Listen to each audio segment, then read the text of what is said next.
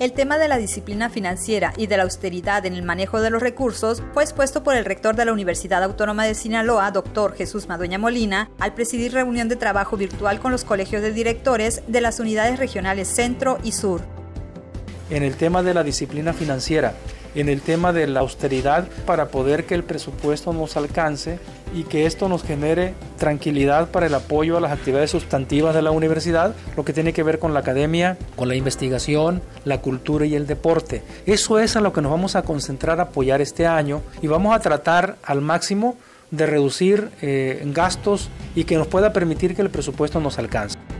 Este evento se suma a las reuniones presenciales que ya se realizaron en las unidades regionales Norte y Centro Norte, con la finalidad de llevar información institucional a los directores de todas las unidades académicas de nivel medio superior y superior de la universidad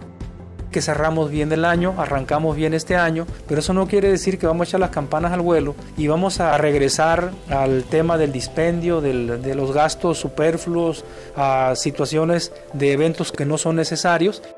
El rector informó que en próximos días se presentará al H Consejo Universitario un plan de austeridad donde el tema más sentido es la nómina y por ello se plantea reducir casi en un 100% la contratación de personal. El rector agregó que 2022 será un año difícil porque no se tendrá en diciembre el apoyo de los 550 millones de pesos para cierre de año y esa cifra es la que se tendrá que ahorrar. Nos están pidiendo desde el 2018 que tengamos disciplina financiera y que tengamos austeridad y no se había hecho. El compromiso que tengo con las escuelas es que no les va a faltar nada. Los vamos a apoyar para sus actividades principales, pedirles la comprensión y que nos entiendan que estamos en una situación de querer sanear las finanzas de la universidad, no es otro el objetivo. Es difícil a veces llegar a esa comprensión cuando traes una inercia de